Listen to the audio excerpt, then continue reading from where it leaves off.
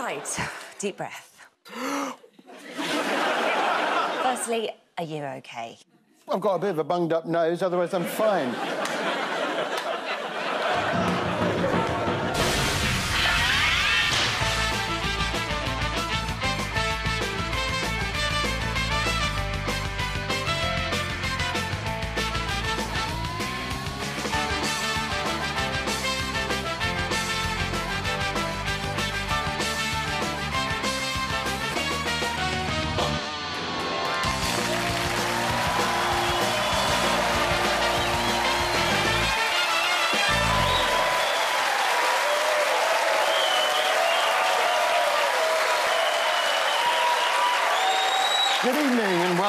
To Have I Got News for You? I'm Harry Hill. In the news this week.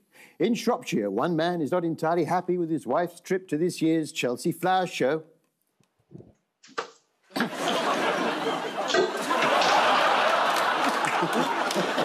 After police discover a huge haul of Class A drugs at a house in central London, one government minister clears his diary and offers to personally inspect the crime scene.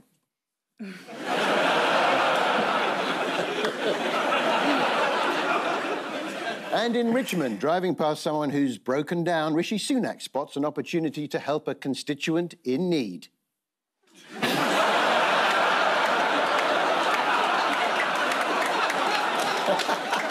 On Ian's team tonight is the presenter and editor in chief of digital broadcaster Vice, who says it's the youngest group of people she's ever worked with. But that was before tonight. Please welcome Zing Tsjeng.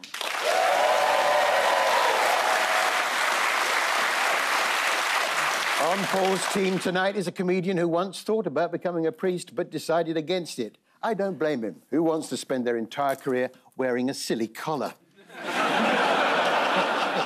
Please welcome Jack Dee. Yes, Jack Dee. We begin with the bigger news stories of the week. Ian and Zing, take a look at this. Here's Rishi Sunak celebrating Pride by deporting some gay migrants. Here he is deporting them by air just to make sure. Oh, and who's the bloke on the right? this is our Prime Minister. He's had an incredibly busy week. He's been in boats, planes, Meeting chickens. meeting. I think it's an eagle. Ah, okay. My I hate that. Yeah, no, no. I Sorry hate to them. the Americans. Actually, I think it's a man in a costume. What, the bloke on the right's in costume? yes. So let's start with that trip. Why was he there? I think he went to America to get his photograph taken with an eagle. Okay. And also to meet Joe Biden. Joe Biden has got to fit him in, and it's, he's got an incredibly tight schedule. You have to go before the afternoon nap and the mid-afternoon nap, and then the evening, it's all gone. And you would think he'd pronounced Rishi Sunak's name right, because the first time around he said it was Rashid Sunak. Yeah, but this time he called him Richie, which is nearer. Donald Trump, when he was reading the autocue and it came to the word Yosemite, said Yo Semites. Which is, as John Berman, a news anchor on CNN, who himself is Jewish, said that's how Jewish people greet each other. The eagle is the baseball mascot of the team that, you know, ceremonially people get invited to throw the first pitch at a baseball match if you're a visiting president or prime minister. Unfortunately, Rishi Sunak literally chickened out. What, he, he couldn't even throw a ball? No, he couldn't.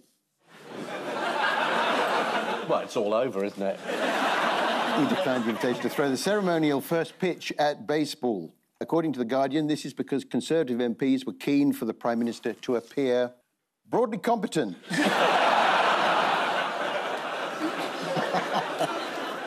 President Biden was on typically great form.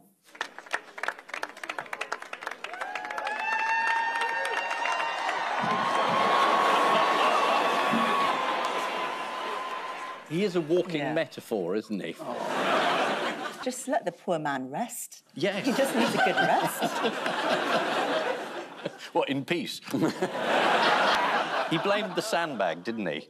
He did, yeah. Well, I think I blame the sandbag as well. It was right there next to him. He didn't know what's going on. He's got all these bodyguards talking to, oh, yeah, they're looking out for snipers. Mm. But he's got no one there looking out for, like, trip hazard. And at that point, that's what you need. You're not scared about being shot at that age. You're just scared about falling over. Yeah. It's true. And he'd be difficult to shoot anyway because he keeps falling over. So you, you know. And Mrs. Biden uh, is looking forward to receiving the 250 quid from You've Been Framed. yes. Yes, you've been framed. 15 years of free money, as I call it. Now, um, here's Rishi on a plane heading to the US on Tuesday.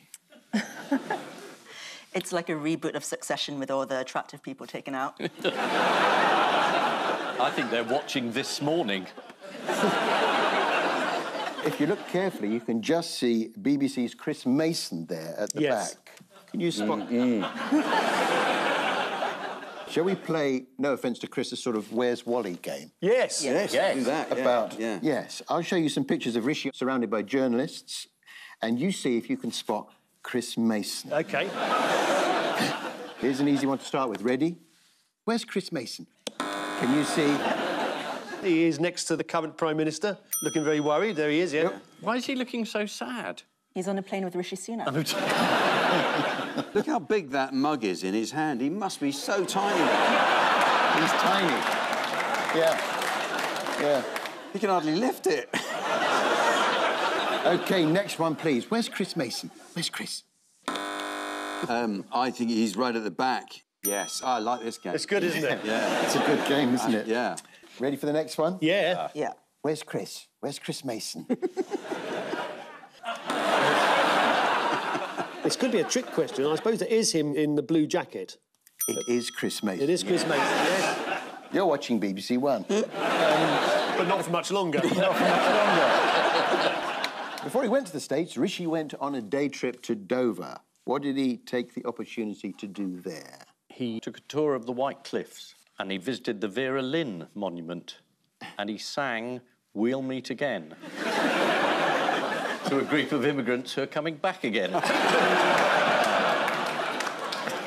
He turned up in his big pair of boots, didn't he?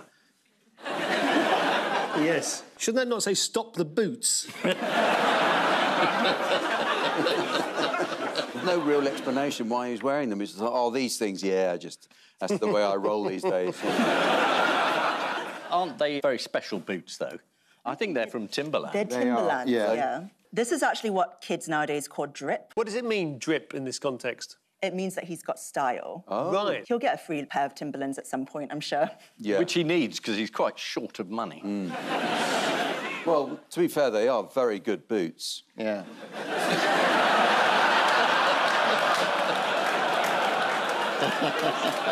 They'd suit a Mercedes sports car, wouldn't they?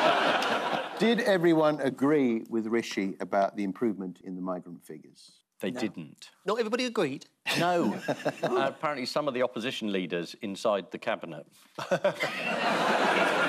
Others claimed the downturn in numbers was down to the bad weather. Nigel Farage declared on Twitter, Stop the boats is not working, it's just windy. the Prime Minister was keen to talk about stopping the boats, but what proved a dist- oh, We've done that. The- It's the boots, isn't it? Yeah, yeah, yeah. We've done all that. This is a repeat on BBC One.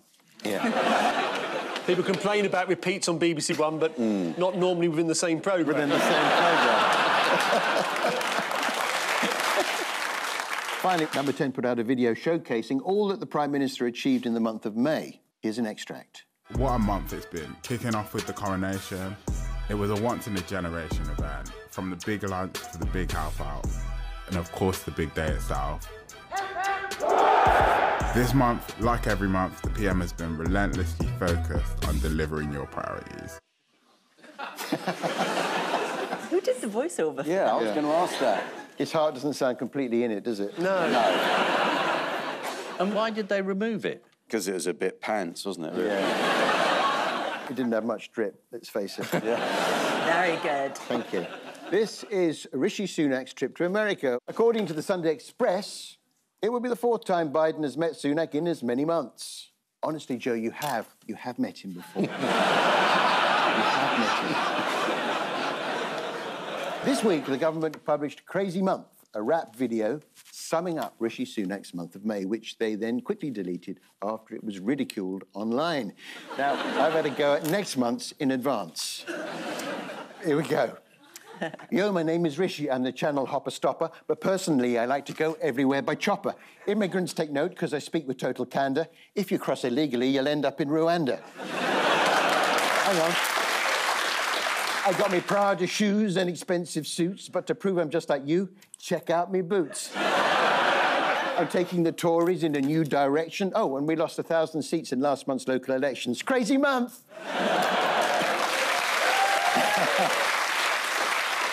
Paul and Jack, here's yours. What's this about? Oh, well, sorry, that, that doesn't sound quite. I think there's a. that's got a bit of a blockage. Sorry, I'll do that. Um, do that again.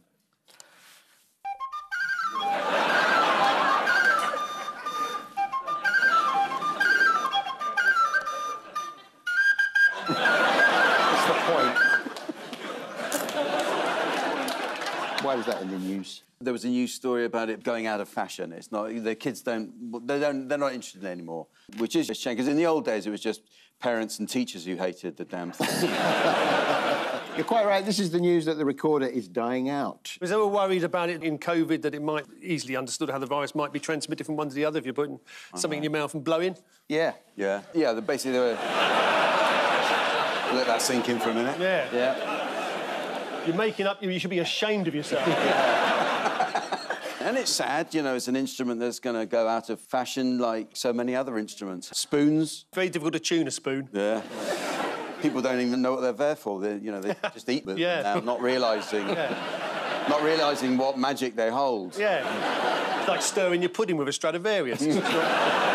Just don't know what's going on. Wrong. It's wrong. It's all wrong. Ah.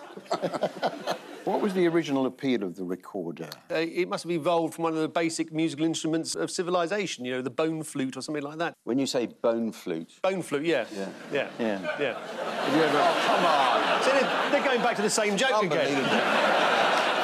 Ian, did your children learn the recorder score or was it the harpsichord? I think they both started on the viol de gamba. oh, no, there was a player. Great centre half from Real Madrid. What else is new in technology news? Ooh.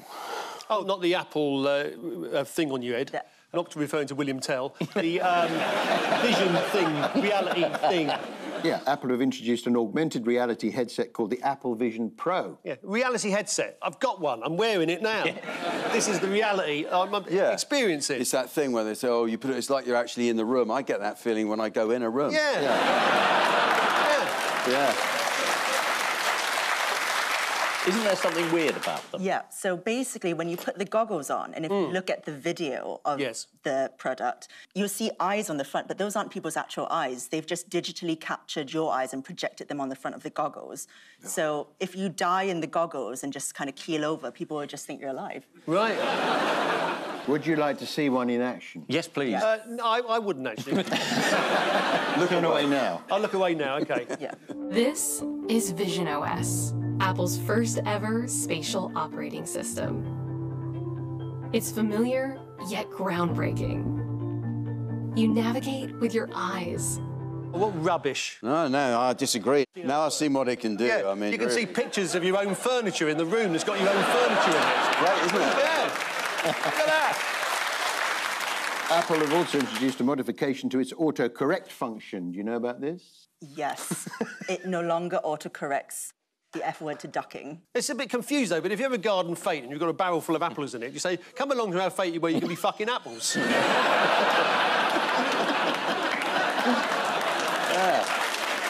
Will there be a Granny Smith? Or a pink lady. oh, you've been, have you? What's the latest artificial intelligence warning? Didn't a number 10 advisor say it would take two years for AI to start killing people? Hmm. Can we choose who? Yes. Perhaps it'll be in alphabetical order.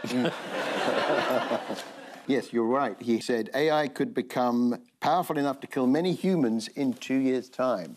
So that's just enough time to pay off the mortgage. Of course, I haven't really got a mortgage.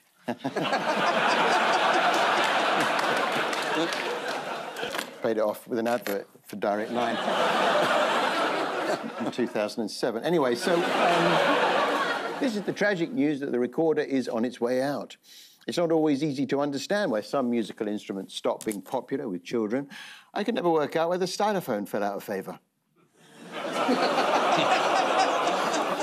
also this week, Apple have launched a revolutionary new headset at a cost of £2,800. The Times described the headset as allowing you to live in mixed reality. I guess like Holly Willoughby does. and so to round two, the fishing rod of news. Ah. Fingers on the buzzers.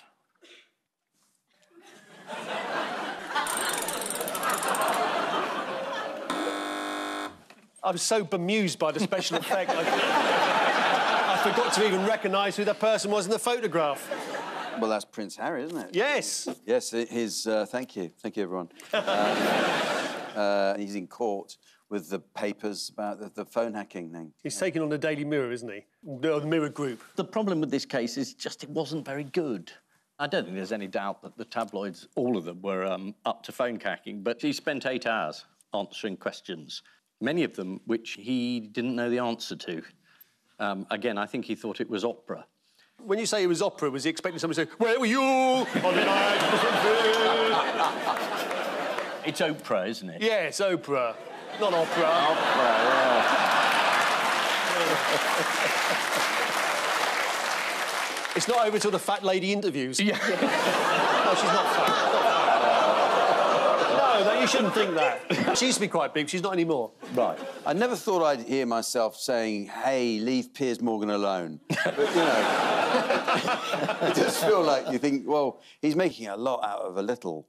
It seems. This is a court of law, and you've got to go in with evidence. And Yes. he really didn't have any. Throughout the eight hours, there's this feeling that Harry just thinks if he says it, it's true. Mm. And that that's just not good enough. Because he's never been gainsaid in his life. No. You get that sense, don't you, that no one says, uh, uh, actually, sir, that's, that's bollocks. Yeah. We should have done with someone telling him that a few times. I mean, if he'd rung me, I'd have told him. Have you seen what some newspapers are doing, though? They're getting actors in to talk through his testimony. Have we got any pictures of any? We have actor and Prince Harry lookalike Lawrence Dobius, who starred in Sky News' recreation of the trial. The Telegraph pointed out that he was chosen because he had a beard and red hair. Let's have a look at Lawrence. He's, too, he's a bit too neatly trimmed, though, isn't he? Compared to the real Prince Harry, he looks like a dog's tennis ball here. You know. GB News had their own version of Prince Harry. Watching it, though, I didn't realise just how small Prince Harry is. Sunday Mirror, 13th January 2002. Where did Harry not appear? There was a picture taken uh, out, away from the um, National Portrait Gallery, wasn't there? Well, I'm sure they've put it in storage and didn't just chuck it on a Yeah, skip yeah. outside. This is the picture. Looks like an illustration for the Ladybird Book of Family Feuds. to me. Yeah, I like how they obviously said, look, we just want to catch you in a sort of casual thing. You know? Mm. Just wear what you'd normally Just wear. ca- yeah. Well, at least it's a British uniform. I can see what a double. According to the Times, art circles have been questioning the decision specifically because it is seen as being of considerably higher quality than many modern royal portraits. Oh, Get out of my pub. Yeah. this is Prince Harry's court case to stop him being followed by the paparazzi. Much of Harry's evidence is about press coverage of his relationship with Chelsy Davy. To be clear, that's his girlfriend, not his Kings Road drug dealer. According to Prince Harry, press intrusion caused my breakup with Chelsy Davy. So even he's a bit cheesed off he's ended up with Meghan. Time now for the odd one out round. Just one between you this week. Your four are Holly Willoughby, Eric Pickles, Jack Dee's daughter's dog, and Chris Wapples.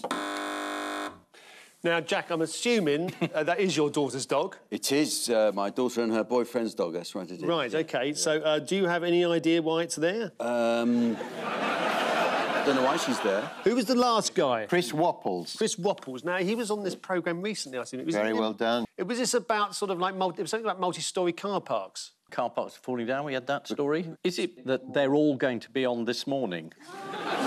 it's Holly and Eric, Holly and Chris, Holly and Dog.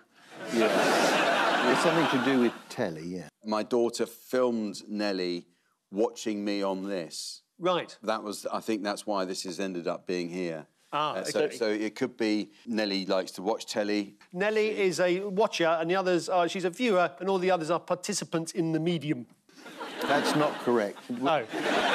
They've all been upset about something on telly. Apart from Holly, she went on telly to say she was upset. And the others were upset about something on telly. about on telly. Ah. This is the fallout from Philip Schofield's departure from ITV. What did Holly say on her return to this morning? Her tone of voice suggested that Phil Schofield and everybody he'd ever known had all been murdered by terrorists. Let's have a look. Right, deep breath.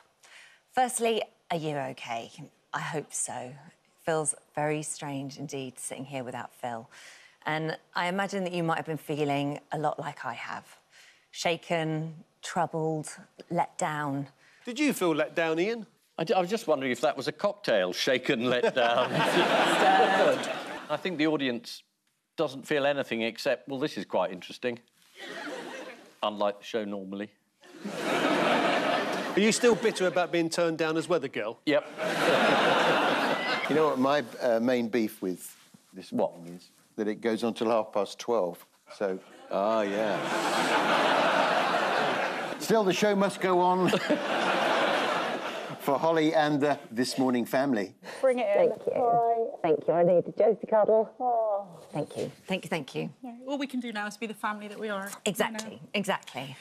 Oh, so here's what we've got coming up. Many of us enjoyed the sunny weather this weekend, but if you have hay fever, you might feel differently.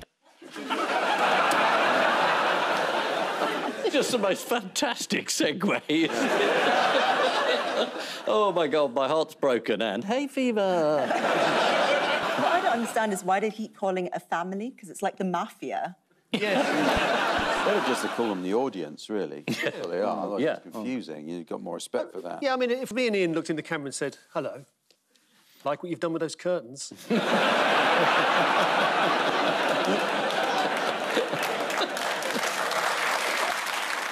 I tuned in to GB News to see what Eamonn Holmes had to say about the situation, but no one told him the cameras were running. I'm the bitch. if only they knew. Only they knew. Pussycat me. Oh, no, how the fuck did I get home today?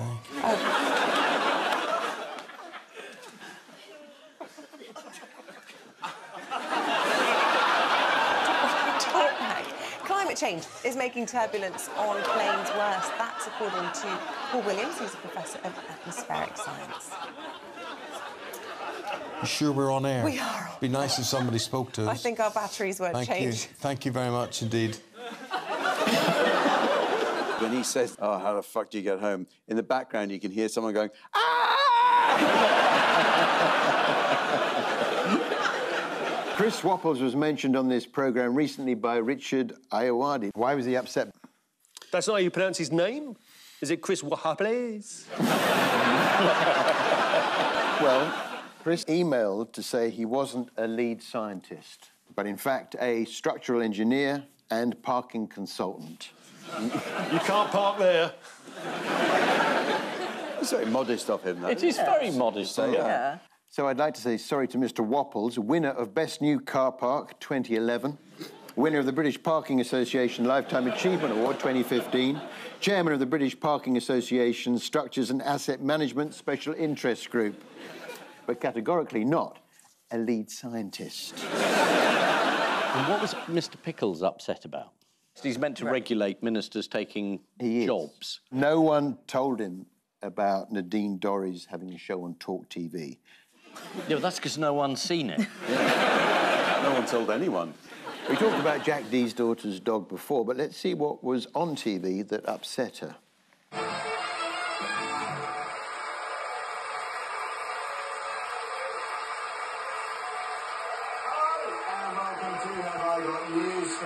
I'm Jack Dee, as is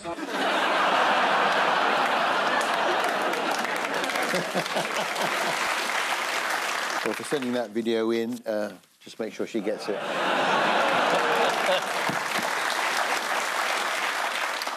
They've all been upset by something they've seen on the telly, apart from Holly Willoughby, who made a special statement about how upset she was on the telly. After everyone else had said their piece, it took Holly Willoughby more than a week to make a statement. Not like her to be last in the queue. Um, Time now for the Missing Words Round, which this week features as its guest publication Buzzword, the magazine of the Bumblebee Conservation Trust. You can get your copy for cash, or if you've got enough of them, nectar points. and we start with In summer, bumblebees spend their nights what? Sing Sting's greatest hits. Massage in a brothel. That was their biggest hit. Um, yeah. Massage, massage in a brothel. In summer, bumblebees spend their nights cruising hedgerows looking for queens. They've done the joke already. Way ahead of us on all of these. Confusing road sign tells drivers what? Welcome to Britain. You're clear for takeoff. to walk, to turn left and turn right. You see, when you see that one, one sign, road sign, that always gets me is the one which says low-flying aeroplanes. Like, well, how are you meant to adjust your behaviour? sort of sit lower in the seat or something. Yeah. Isn't it turn, do not turn your head? That's it, not to turn their heads. Ah. Here's the sign in full. no turning head. And the one above it was supposed to be an H for hospital, but the Conservatives haven't built it yet. OK, next. Dog breaks record for world's longest what? Tongue. I saw that story. Yeah, tongue. Here is the record breaker. Yes. That's him. Oh. oh. That's extraordinary. That looks painful. Hmm. Yeah, but your dog Nellie's paying attention now. Yes, she is. yeah. If you've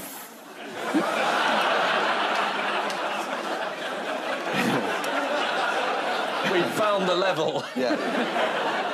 That brings us to the end of the show. So who's won? Well, I liked Ian's team, but I also liked Paul's team. But which was better? There's only one way to find out by checking the scores. Ian and Tsjeng, you're on six points. Oh. Paul and Jack, you're on seven. Oh, well done. Well done. But before we go, there's just time for the caption competition. New Pope is chosen. well, we can see you're not Jewish. Yeah. On which note, we say thank you to our panellists Ian Hislop and Zing Tsjeng, Paul Merton and Jack Dee. And I leave you with news that as he tries to shake off the Captain Hindsight nickname before the next general election, Keir Starmer immediately regrets letting Twitter users choose his new one. As preparations get underway for the Hampton Court Garden Festival, a member of the King's Guard privately wonders if anyone has a spare hay fever tablet. and at the Rowntree factory in York, attendants tried to help Jeremy Hunt after a terrible accident with the chocolate dipping machine. you did order a flake with that. Good night.